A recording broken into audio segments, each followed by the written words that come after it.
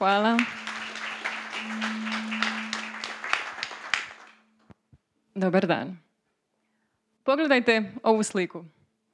Što vidite? Što prvo pomislite kada vidite ovu sliku? Vjerojatno neki od vas pomisle, ok, to je najvjerojatnije spoj klasične fotografije i nekakve digitalne ilustracije. No, što ako tu digitalnu ilustraciju sretnete u tramvaju? Što ako vas pogleda ili vam se obrati? Biste li trepnuli dva put? E, ja sam Tena Grgić, umjetnički Artena. I ono što ja radim je da stvaram optičke iluzije pretvaranjem trodimenzionalnog svijeta u dvodimenzionalni. Drugim riječima, e, ja nanosim boju direktno na kožu i odjeću svog modela i zatim ga fotografiram. Važno je naglasiti da ovdje nema Photoshopa. Dakle, tako kako vidite, izgleda zapravo i uživo. E, vjerojatno se pitate kako sam uopće došla na tu ideju. E, od uvijek, od kad znam za sebe, uvijek sam bila jako kreativna i imala sam potrebu stvarati, međutim nikad se nisam ograničavala sa materijalom, sa sredstvima, sa uvjetima ili sa bilo čim. Jednostavno imala sam potrebu stvarati bilo što i, od, i doslovno od bilo čega. E, u doba kad sam ja bila mala, nije bilo hobi shopova i slično, ja sam uglavnom skupljala smeće. Razbijene čaše, um, ostatke nekakvih papirića, bilo što što bi sam, od čeg sam mogla stvoriti nešto sasvim novo i dati mu nekakvu novu bit. Jer ja sam uvijek osjećala da apsolutno sve ima nekakav potencijal, baš kao i ljudi. Bilo mi uvijek šteta zapravo baciti nešto ako već bi mogla napraviti nešto sasvim um, novo. Zapravo, kad gledam iz današnje perspektive, mislim, jako sam zapravo zahvalna da nisam imala previše materije, jer mislim da je to upravo zaslužno e, za razvoj moje kreativnosti od najranijih dana. E, smatram zapravo da je kreativnost apsolutno svuda oko nas i da e, samo treba imati širom otvorene oči da bi ju vidjeli. Ona može biti u obliku mrkve, u obliku kave, pjeska ili latica, i već za par trenutaka poprimiti sasvim nekakav novi oblik i to za nula kuna. E, što se tiče mog e, formalnog umjetničkog obrazovanja, zapravo ga nemam, samo ukasam u svemu. Prvo sam išla u opću gimnaziju i zatim sam magistrirala grafički dizajn na grafičkom fakultetu. Od tih svih silnih 17 predmeta koje smo imali u gimnaziji ja nisam bila ništa specijalno zainteresirana niti za jedan od tih predmeta. Međutim, kako su drugi pratili nastavu sa velikim žarom, ja sam sa istim tim žarom poskrivečki ispunjavala korice svojih bilježnica i na taj način, ajmo reći, razvijala svoj talent. Iako to niko nije do tada, do, zapravo do kraja srednje škole, niko to nije ni kužio. Tek krajem srednje škole ljudi su počeli primjećivati da ja crtam i počele su stizati nekakve prve narudžbice. Ljudi su bili zadovoljni i počeli me preporučivati jedni drugima i ja sam zapravo neplamski krenula slikati slike po narudžbama. E, što sam više slikala, više sam učila. Dakle, ja nemam niti jedan jedini sat proveden kod neke osobe tipa koja me educirala ili nikad nisam gledala nekakve tutoriale, jednostavno sam uvijek znala. I svakom novom slikom bi naučila nešto novo, našla način kako bi ju izvela e, i tako sam zapravo napredovala. E, slike su postojale, postojale sve narudžbe zapravo, postojale su sve veće i kompleksnije, međutim nije ih nikad bilo dovoljno e, kako bi platila sve troškove života u Zagrebu. U jednom trenutku sam istovremeno e, studirala, e, primala slikarske narudžbe, vodila školu, školu Irskog stepa, vodila tri različite grupe, imala solo treninge kako bi se pripremila za natjecanja, radila u kafiću i povremeno dadiljala. Bilo mi je užasno teško, međutim, ja sam uvijek željela raditi i živjeti od svojih talenata i uvijek mi je bilo jasno, jer sam na taj način odgojena da se trudom i radom sve može, pa makar malo i patili. E, nisam radila toliko puno poslova istovremeno isključivo zbog novca, već baš zato što ja zapravo vjerujem da je to smisao naših talenata. Ako nešto dobiješ, da to razvijaš i dalje poklanjaš drugima i mislim da to ako svi radimo, da barem možemo djelomično učiniti ovaj svijet barem malo ljepšim mjestom za život. od tog silnog prenatrpanog rasporeda i od silnih narudžbi ja zapravo nikad nisam našla e, dovoljno vremena kako bi razvila svoj vlastiti slikarski stil i uvijek sam osjećala da mi to fali. E, dakle, uvijek sam bila uvjetovana tim narudžbama, željama klijenta i nikad nisam imala baš totalnu i potpunu slobodu uvijek, uvijek sam čekala više kad će doći to vrijeme, kad ću moći malo izdvojiti vremena da bi razvila nešto svoje. I uskoro se zapravo to i desilo.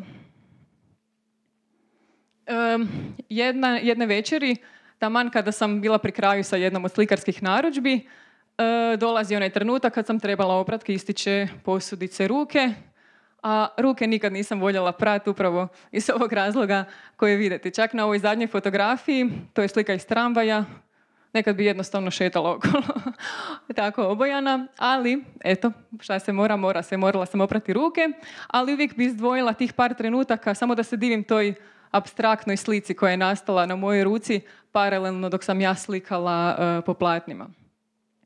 I e, spontano sam baš prije pranja kistića, prije, prije e, pranja kistića uzela jedan kis na kojemu je ostalo nešto boje i krenula sam popunjavati sve ove dijelove koji nisu bili ispunjeni bojom i kako se to sve osušilo ja sam počela primjećivati da mi se nešto onako drugačije sve čini, nekako percepcija mi se mijenja i sve nekako izgleda puno plošnije. I nekako mi je sinula ideja, ako toliko dobro izgleda na dlanu, koliko bi dobro izgledalo na cijeloj ruci ili možda čak na cijelom tijelu.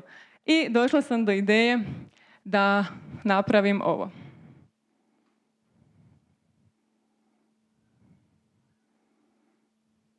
Isto tako nema Photoshopa, nema ničega. E, moj prvi model bio je moj šogor koji se strpljivo prepustio mome kistiću i pet sati nepomično sjedio na rubu ove stepenice. E, ja sam ga odlučila oslikati tako da iz bilo koje perspektive gledanja, iz bilo kojeg kuta, on izgleda dvodimenzionalno, tako izbliza ili iz daleka. E, nastavila sam istraživati. Ovaj put sam odlučila totalno ogoliti modele i promijenila sam sredstvo slikanja. Počela sam raditi sa spužvicama i sa nekakvim još dekorativnim elementima i rezultat je bio u redu. Međutim, ja sam osjećala da sam nekako skrenula s puta, nekako mi je to previše izgledalo kao tipičan e, body painting i nisam dobila tu dvodimenzionalnost kojom sam se nadala. I onda sam odlučila, ok, idem reducirati apsolutno sve boje i koristit ću samo oštre i kratke poteze jedne boje, bez blendanja, bez sjenčanja, bez ičega. I dobila sam ovaj totalno dvodimenzionalni kartun efekt. E, ovo je bio zapravo prvi put kad sam se odlučila na jedan zbilja za mene hrabar potez, jer sam odlučila otići u javnost među ljude izvan svoje komfort zone, izvan svoga dvorišta i kuće. E, malo smo se prošetali po gradu, pa smo se malo vozili tramvajem, ali se onda nešto nepredviđeno desilo. On se zaljubio. Našao si curu. Malo je drugačije izgledala, ali opet nekako isti stil. Izašli su na istoj stanici i od tad više ništa nije bilo isto. Unijela je malo boje u taj njegov monotoni život. Uglavnom, šalu na stranu. Dakle, to je bio prvi put kada sam izvela svoje modele u javnost i su, zanimalo me zapravo vidjeti reakciju ljudi. E, reakcije su bile svakakve. Najčešće kada ljudi prvi put vide moje radove na fotografijama, uglavnom pomisle da se radi ili o nekakvoj digitalnoj ilustraciji ili o klasičnoj nekakvoj slici na platnu, eventualno sa photoshopiranim očima. Kada vide e, video, ništa im nije jasno, uglavnom su u šoku, ako nema nekakvog tekstualnog objašnjenja, što je dosta vrlo slično kao i reakcija ljudi uživo. Ili im doslovno ispadne vilica od šoka, ili se pak prave da nisu ništa vidjeli, ali uvijek ostanu obrve jako visoko i samo se lagano okrenu i produže u drugom smjeru. E, mislim da su reakcije ljudi takve e, upravo zato što ljudi nisu navikli vidjeti umjetničko dijelo izvan njegovog tipičnog statičnog konteksta. Nisu navikli vidjeti umjetničko djelo koje prođe pored njih ili im se doslovno obrati. Mislim da je to nekakva sasvim druga dimenzija. Ono što sam uspjela otkriti tim svojim istraživanjem je da je ta dvodimenzionalnost postojana i u, slučaju kada se model totalno izdvaja iz okoline i u slučaju kada se totalno u nju uklopi. Do sada sam napravila dosta velik broj body art e, projekata, surađivala sam sa različitim bendovima na njihovim spotovima, e, surađivala sam sa brendom Foreo, odnedavno radim i sa Koktom, a ovo što vidite na slici je suradnja sa Elom Dvornik. I tu također nema nikakvog Photoshopa.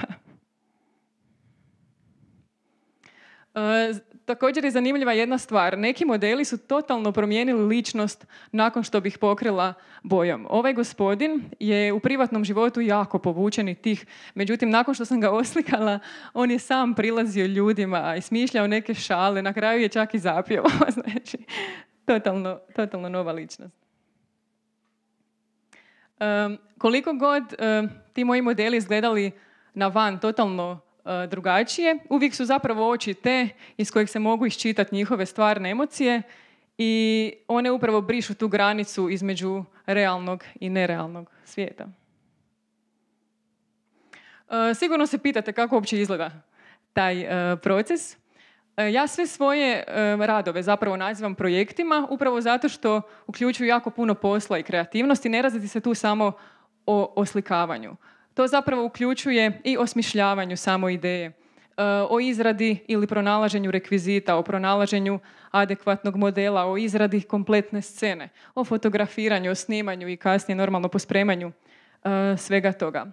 E, isto kao što vidite na ovoj slici, snalazim se sa kostimima, nekad ih šivam i sama, što se može vidjeti po ovim dječjim kristalićima, morskim zvijezdicama i mamenim stolnjakom oko vrata. Međutim, bitno je biti kreativan i naći način.